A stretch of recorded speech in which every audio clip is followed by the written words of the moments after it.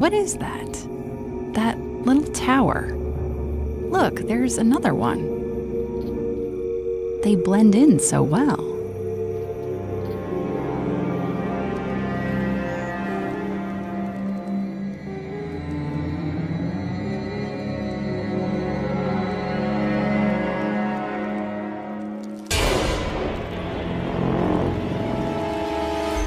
That was a California turret spider. Its lair is like the turret of a castle, rising above the forest floor.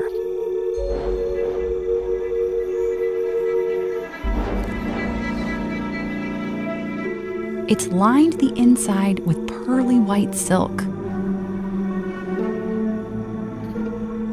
and coated the outside with mud, moss, or leaves. The turret leads down to the spider's burrow that can descend six inches underground. The spider spends its days down there.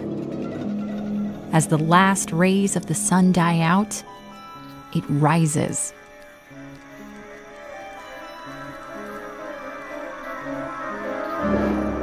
To wait, motionless until some unsuspecting creature happens by, like this pill bug.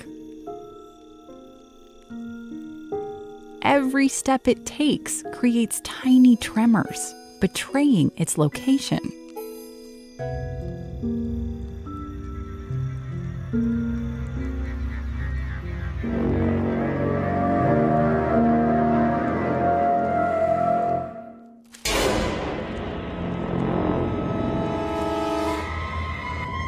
Turret spiders actually have pretty poor vision. Instead, they rely on feel.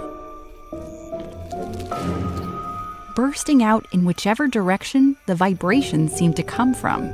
So sometimes they miss. They belong to a group of spiders called mygalomorphs, along with their more famous cousins, tarantulas, and trapdoor spiders.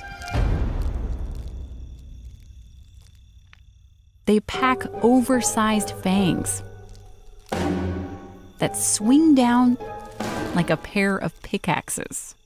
They were hunting this way long before spiders started building intricate aerial webs, like this orb weaver spider. Instead, a female turret spider might live for 16 years and never stray from her turret.